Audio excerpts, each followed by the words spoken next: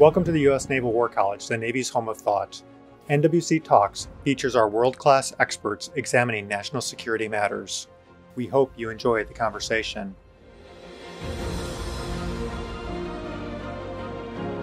As China has become more powerful militarily and economically, it's also become more assertive at sea. And this assertiveness is manifest in three sets of unlawful maritime claims. First, claims around the mainland of China and the Paracel Islands. Second, claims in the East China Sea surrounding the Senkaku Islands. And then finally, third, China's claims in the South China Sea, the Nine Dash Line. And each of these sets of claims fail to comply with international law. They reflect a strategic gambit by China to become the dominant power in East Asia. And Beijing understands that the world accepts a rules-based international order, and so these are, this is part of China's legal warfare to couch its strategic gambit in legal terms. Hi, I'm James Kraska, and welcome to NWC Talks. I'm the chairman and Charles H. Stockton Professor of International Maritime Law at the U.S. Naval War College. And international law is an essential element for a secure, more stable, and more prosperous international order. China undermines this order through these unlawful maritime claims. And these claims assert sovereignty or jurisdiction out into the ocean in areas that either belong to China's neighbors or are part of the high seas and therefore are, uh, are governed by the international community in general. You might think of China as a serial violator of the law of the sea. So states may make claims in the oceans, and these entitlements are reflected in the United Nations Convention on the Law of the Sea, or UNCLOS. UNCLOS is a comprehensive treaty. You might think of it as a constitution for the world's oceans. And China joined the convention in 1996, and the zones that are set forth in UNCLOS are binding on all states as part of customary international law. UNCLOS permits coastal states to make these claims out in the water based upon a normal baseline that runs along the coast. And from this baseline, this imaginary line running along the coast, coastal states can claim a territorial sea, a contiguous zone, and a 200 mile exclusive economic zone. China's maritime claims, though, are not consistent with UNCLOS. First, China has drawn straight baselines along the coastline of its mainland and around the Paracel Islands. And these are shown here with these base points in green and straight baselines in red. And you'll notice that these are not along the low water mark, but rather they're lines that are in the water. And that means that they project farther out into the water and claim more water than is lawfully allowed.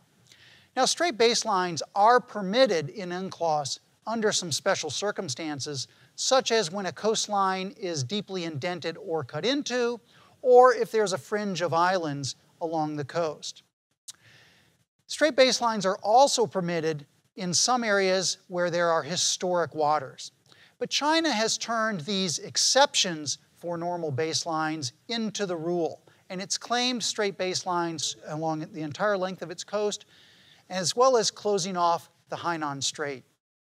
China also claims straight baselines around the Paracel Islands, which are shown here with base points of yellow dots and orange straight baselines. China seized the Paracel Islands in 1974. Only for China, it's unlawful to draw straight baselines around these islands, regardless of which country owns them, because only archipelagic states are entitled to draw baselines around islands. Archipelagic states are those states composed of archipelagos or groups of islands, such as Indonesia or the Philippines. And those states may draw straight baselines around their islands. But continental states, such as China or Greece or the United States, are not entitled to draw straight baselines around groups of islands. The second unlawful set of claims that China has is its straight baselines around the Senkaku Islands in the East China Sea. China drew these straight baselines in 2012. China claims the Senkaku Islands based upon some sort of historic presence from the Ming and Qing dynasty. But there's no evidence that China ever established any sort of permanent settlement or station on the islands. Japan encountered the islands in 1895 and they were unoccupied, and so Japan lawfully claimed them. The United States administered the Senkaku Islands as part of its occupation of Japan and Okinawa after World War II. And so China's claims not only are unlawful in the law of the sea, but they also encroach on Japan's sovereignty. And the maritime claims impinge on the freedom of navigation enjoyed by all states. The third set of China's illegal claims are in the South China Sea, and these are the most egregious. The South China Sea is a strategic waterway. It's the main trade route between Asia and Europe and the Middle East. And it's not a small body of water. It's 1.4 times the size of the Mediterranean Sea, and it's 15 times as large as the Persian Gulf. In May of 2009, China released a diplomatic note that it circulated to all countries, in which it claimed indisputable sovereignty over the islands in the South China Sea, as well as the adjacent waters. And China also said that it enjoys sovereign rights and jurisdiction over the relevant waters and the seabed and the subsoil. You can see the nine dash line here depicted on this map. The problem is, is that adjacent waters and relevant waters are meaningless terms in the law of the sea convention.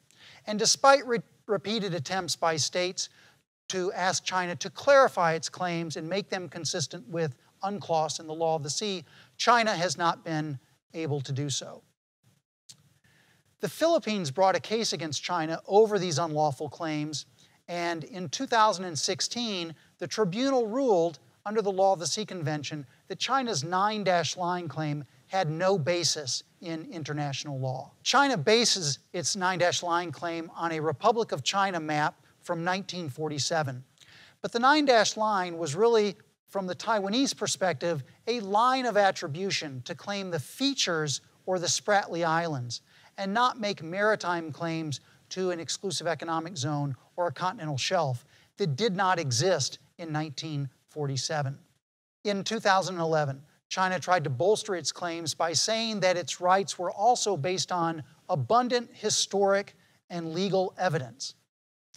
But this is actually counter to a basic rule of international law, which says that the latter source of law in time prevails over any earlier source. And so when China joined UNCLOS in 1996, that would supersede any rights, even if they happened to have existed. So the tribunal ruled that China's nine dash line claim could not stand, and that China was not making any sort of lawful claim to straight baselines under the law of the sea convention. The tribunal ruled that if there were Chinese fishing vessels that had used the area that was now part of the Philippine exclusive economic zone, that those fishing vessels simply were exercising their freedom of fishing that pre existed the creation of the exclusive economic zone by the law of the Sea Convention. Once China joined UNCLOS, it relinquished its right to fish in other countries' exclusive economic zones, just as it acquired its own exclusive economic zone. The tribunal also ruled that none of the islands in the South China Sea were entitled to an exclusive economic zone. All of these features were determined to be rocks or low tide elevations, and at most, they were entitled to a 12 mile territorial sea. They were not entitled to a 200 mile exclusive economic zone because they were not suitable for human habitation and did not have an economic life of their own. None of the features met that test, and therefore none of them were able to generate a 200 mile exclusive economic zone that might overlap the Philippine exclusive economic zone. So the tribunal determined that UNCLOS was a system of zones, that it was comprehensive, and that the nine dash line claim was inconsistent with it. The tribunal said that it would be incompatible for UNCLOS for one state, such as China, to have any type of historic rights that linger within the Philippine exclusive economic zone, and that doing so would undermine a central goal of UNCLOS, which was to have a comprehensive and coherent settlement of maritime claims, and that China risked unraveling the entire agreement. Now, China's efforts to establish these maritime claims is part of its strategy to decouple the United States from its friends and allies in East Asia. In particular, China seeks to eject U.S. naval and air forces from these areas. The United States has been clear that it would sail, fly, and operate anywhere that international law allows. One of the tangible expressions of the American presence is the 1979 Freedom of Navigation Program. And this program is designed to reject maritime claims that purport to impede freedom of navigation. Freedom of navigation operations demonstrate non acceptance or non acquiescence of these unlawful maritime claims. And they also provide evidence of state practice and they maintain a record of air and naval transits through the area in order to encourage compliance on the part of China. The Freedom of Navigation program reflects a vital U.S. interest in operating in the South China Sea, the East China Sea, and along the coast of China. The United States is dependent on navigation for maritime trade and prosperity, as well as to maintain its military connections to its friends and allies in Europe, as well as its treaty allies in Asia. Freedom of navigation is also critical for American strategic security because ballistic missile submarines must be free to roam the oceans in order to bolster nuclear deterrence. Today, China has routinely intercepted and harassed U.S. aircraft and naval ships. You see here the USS Decatur being intercepted by a Chinese warship uh, number 170 on September 30th of 2018. In this case, the Chinese warship acted unsafely and unprofessional in order to try to push the U.S. warship off of its lawful track. But freedom of navigation has been essential for American security since the founding of the country. And today, China's illegal claims are the, the most recent challenge to freedom of navigation. I'm James Kraska, and it's been my pleasure to discuss China's illegal maritime claims with NWC Talks.